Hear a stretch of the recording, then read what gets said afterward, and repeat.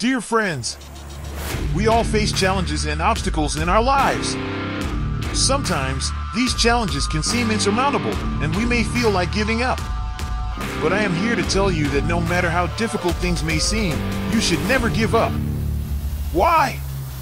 Because giving up means that you are accepting defeat.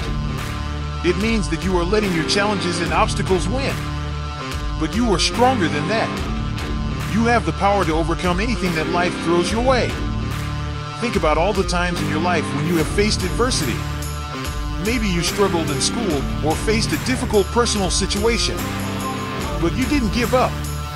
You kept pushing forward, and eventually, you overcame those challenges.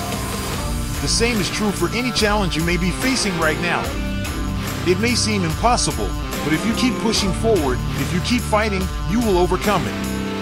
One of the keys to never giving up is to have a strong support system. Surround yourself with people who believe in you and who will encourage you to keep going. Talk to your friends and family about your struggles and let them help you. Another key is to have a positive attitude.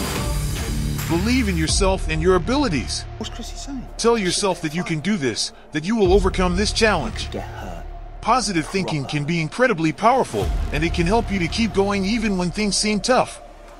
Finally, remember that failure is not the end.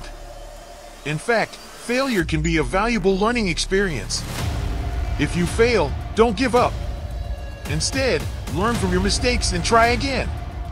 Keep trying until you succeed. In conclusion, never give up. No matter how difficult things may seem, you have the power to overcome them.